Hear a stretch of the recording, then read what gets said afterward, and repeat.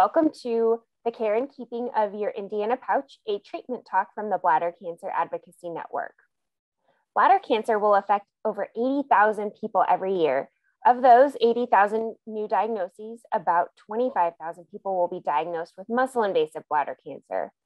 Bladder removal is a common treatment for muscle invasive bladder cancer, and one of the diversion options after bladder removal is an Indiana pouch, sometimes called a continent cutaneous pouch. The Indiana pouch was pioneered in 1985 at the Indiana University School of Medicine.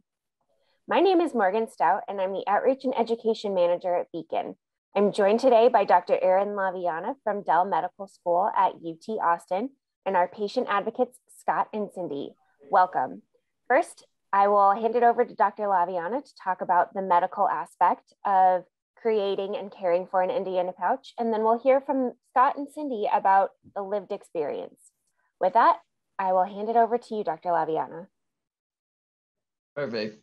Thank you so much, Morgan. And uh, it's really an honor to, to, to be here today and this evening. And thank you for taking the time uh, to be a part of this.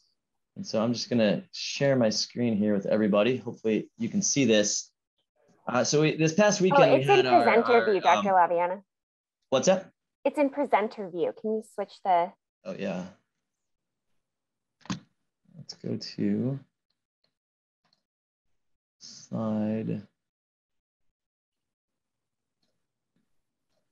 Okay, is this better? It is, thank you. Perfect.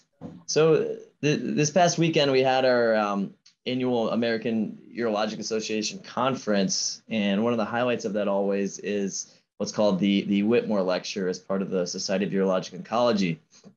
And Dr. Dr. Eila Skinner is the chair at Stanford, and she gave the talk this year. And one of the things she focused on was just the differences between conduits, Indiana pouches, and neobladders. And one of the lines that really resonated with me was she said, You can talk any patient into getting an ileal conduit if you want them to get an ileal conduit.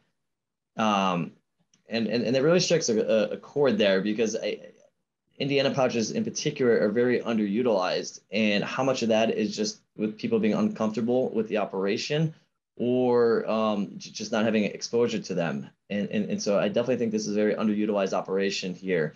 Um, and the more we can give exposure to it for, for the right patient, I think it can really go a, a long way and a lot is not tonight too is I, I want the patient experience to really be emphasized um, from both Cindy and Scott, who have both undergone this operation and, and can share their experiences. Because at the end, end of the day, I think that is what is most important.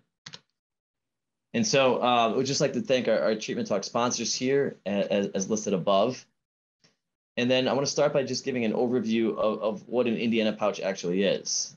And so this is a picture here of, of both the small intestine and the colon. And so the Indiana pouch is actually a combination of the two of them. As you transition from the small intestine over to the colon, there's something called an ileocecal valve. And that valve is what's used in this operation to actually provide the continence mechanism, or that, that's what helps prevent the, the, the leakage of urine after this operation. So approximately 50 centimeters of uh, small intestine are, are harvested or cut, and then the rest of the bowel is sewed back together. And you can see this better in the next slide here. And so this picture on the left here that's labeled A, on the right part of that screen, that, that is the actual pouch. And you can see the Foley catheter with the balloon going into the pouch. And then that area on the farther left there is where it narrows and, and comes out to the skin. However, it's that, that sort of that junction there um, of where that ileocecal valve is that provides the continence if you if you move over to B here, you, you can see sort of how big this pouch is. The, the, those blue tubes are the stents coming from the ureters into the pouch, and, and the yellow thing is the catheter that comes out to the skin. And then finally, on the right side here, this is the last picture of the Indiana pouch. You can see the pouch on the inside, and then you can see the quote unquote stoma on, on the patient's outside that they then have to catheterize through.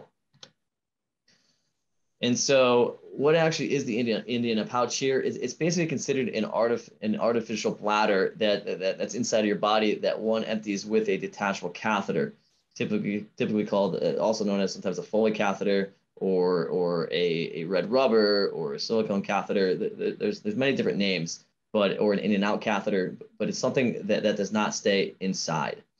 Uh, and it helps wearing it helps avoid wearing an external urine bag and, and, and results or hopefully results in normal urinary control.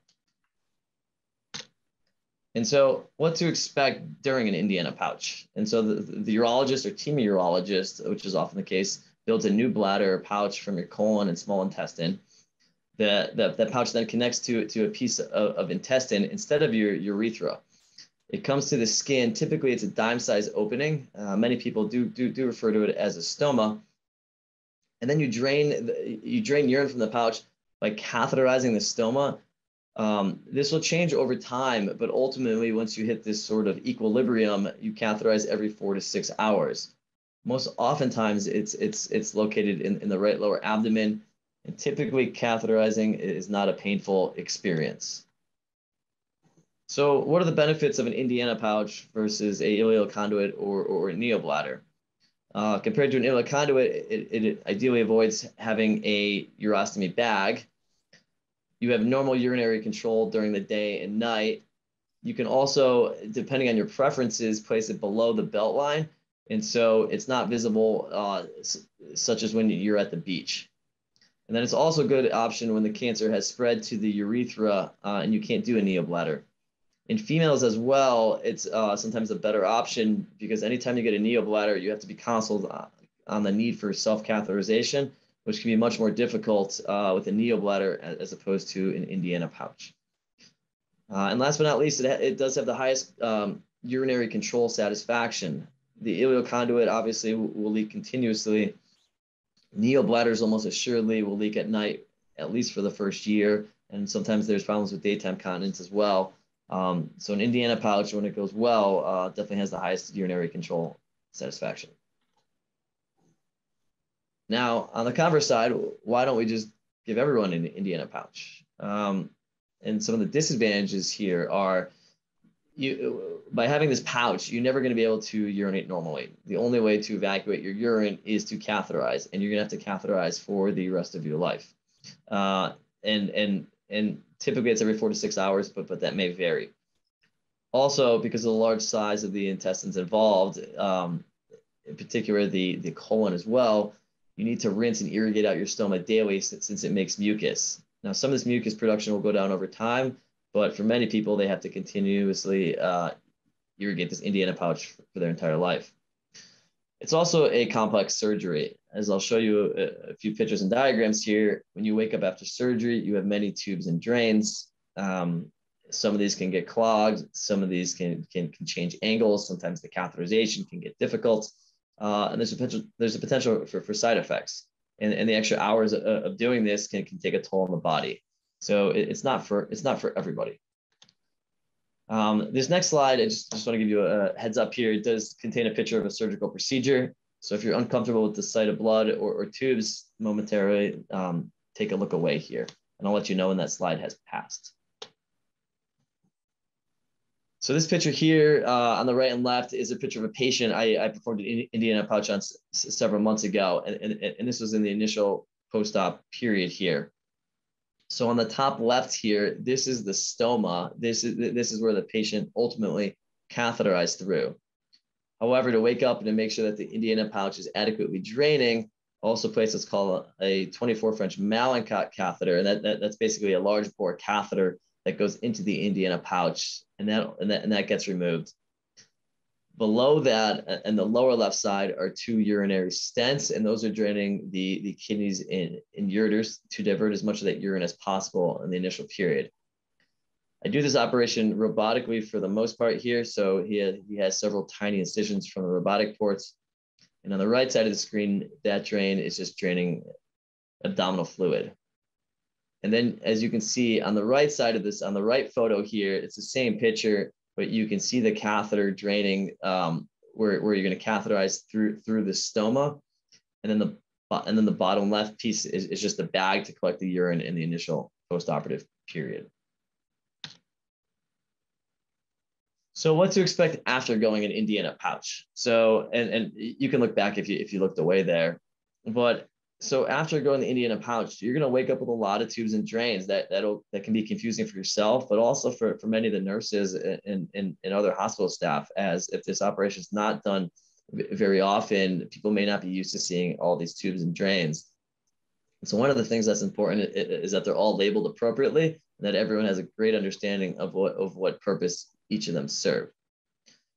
The patients will typically recover in the hospital for about a week after surgery, plus or minus based on how they're doing.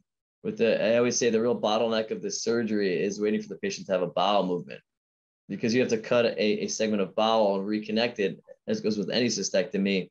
Uh, sometimes you can get swelling at that staple site, and, and until the patients are able to pass a bowel movement, that, that's typically when they're able to go home. Now this can vary from practice to practice, but typically we keep the drains in for about three weeks and then get an x-ray, something called a pouchogram to make sure the pouch is sealed and that there's no leaks.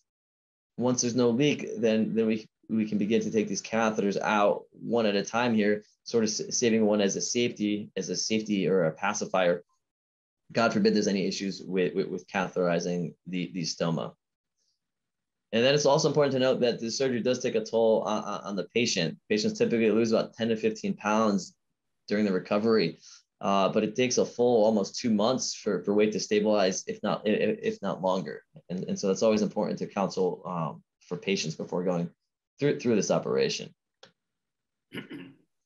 About one and a half to two months in, you should be able to go back to your normal activities. It typically takes though about eight weeks until you wake up and you feel like you've never never had an operation, um, which can be a substantial amount of time. And then over the next year, you can slowly wait longer and longer to empty urine as your pouch stretches. In the beginning, we want you emptying that pouch every two hours um, just to make sure it doesn't stretch out too quickly, both for, from a leak standpoint and, and then just from a retention of urine standpoint. Then eventually your pouch will be able to hold as much as a normal bladder. Sort of the, the sweet spot here is being able to catheterize every four to six hours for residuals of about five to 600 cc's or, or milliliters of urine.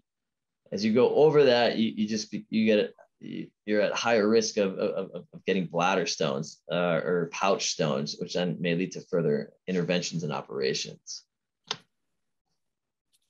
So how does someone with this artificial bladder know if they need to urinate? And so most people will feel abdominal tightness or mild cramps uh, that should not be particularly painful, but they typically feel uncomfortable, sort of as having a full bladder. And some, some patients will see their stomach sticking out on their right side where the pouch is located when, when, when very full, but that's not everybody. What about needing to wear pads or an adult diaper? So if you're undergoing a neobladder, we always counsel patients on this that they're a high likelihood of leaking. And as I said earlier, they're definitely going to leak at night. Uh, for an Indiana pouch, however, you should be able to wear regular underwear. And most people wear a band-aid or a small pad to keep the amount of mucus um, that the stoma makes from, from getting on their underwear. Now, in the beginning phases of this, though, it is common to, to, to leak urine, especially as that neobladder is expanding. And so in that case, you may wear pads or you even may wear a, a, conduit bag over it in the beginning until you sort of get in your routine and you're comfortable with, uh, with, with, how you're living your daily activities. For, for instance, if you know you're going to be out and about for several hours or even longer than that, you may, you may want to more, wear a more protective barrier until you sort of get used to everything.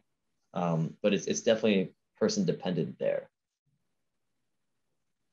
And what are a few other things to consider about an Indiana pouch? Well, for starters, it's not uncommon to, to have urine, urinary tract infections. You, you basically have a artificial bladder made out of intestine, which can have some bacteria in it, and you're also holding urine. Uh, and sometimes, especially the more urine you hold, the more prone you can become to, to infections.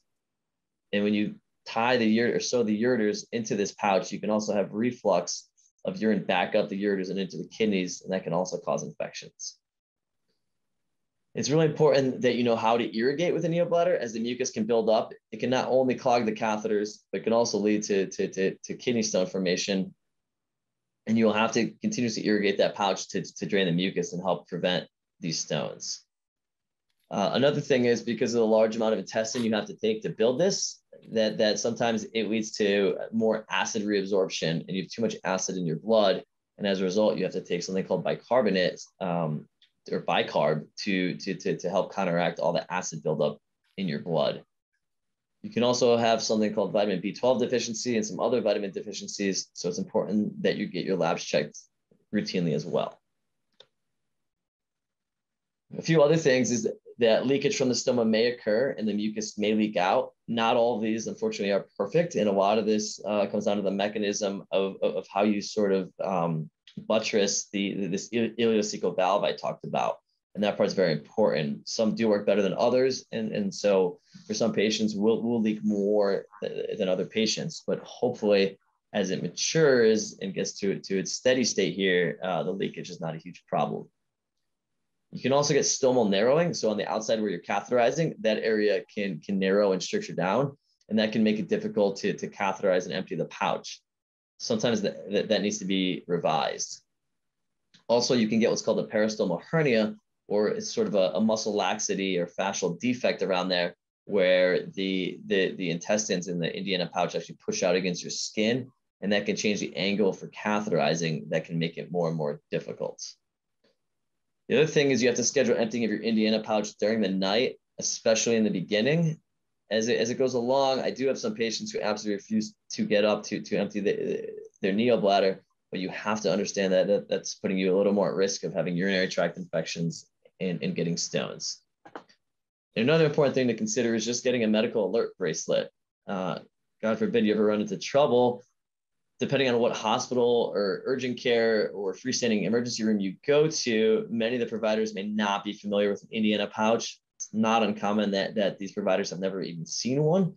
And so just, just making them aware, especially if you get any imaging studies done uh, from the radiologist standpoint too, that, that they fully understand what you had done and what your anatomy is supposed to, to, to look like.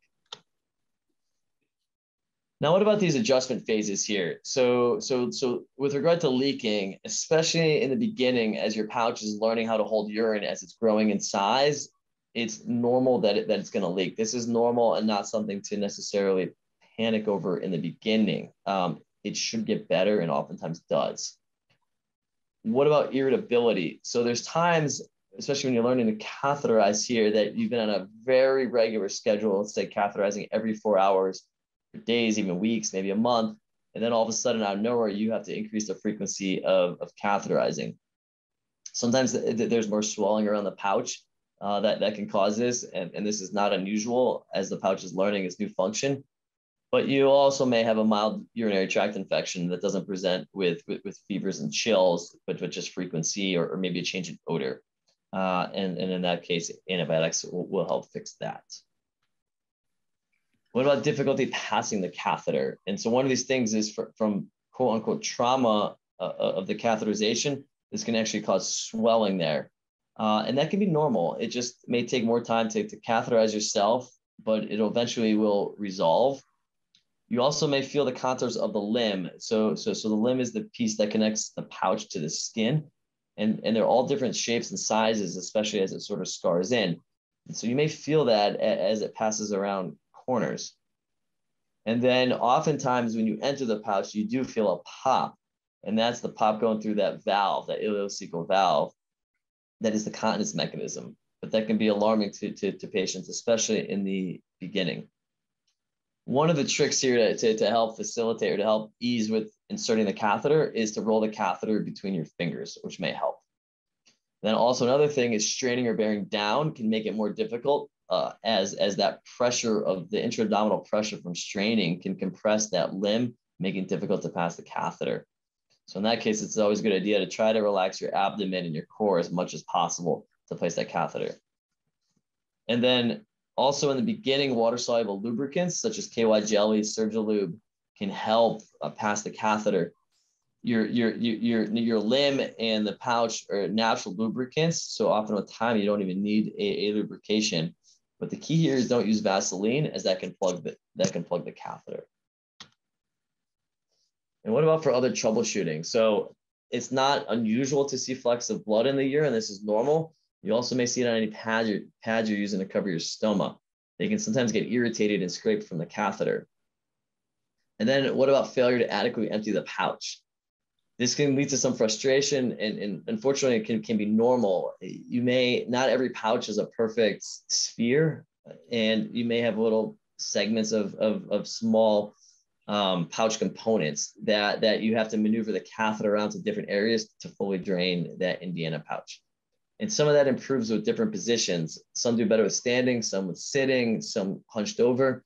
Um, but the patient sort of gets to know that with time. And then gentle pressure on the area of that pouch may also help. And then what about thick mucus? So you may notice a change in the consistency of your mucus. One of the most common causes of this is just from not drinking enough fluids.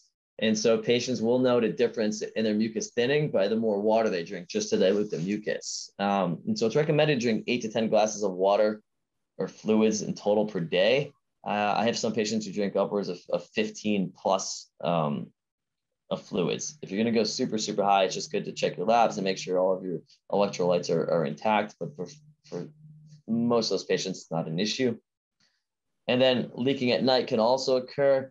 Uh, one of the main culprits there is just drinking up until bedtime. So any diuretics such as coffee or alcohol will increase uh, urine production, especially at night. And then not cutting off fluids or having fluids right before you go to bed will obviously make more urine at night, and that can lead to problems also.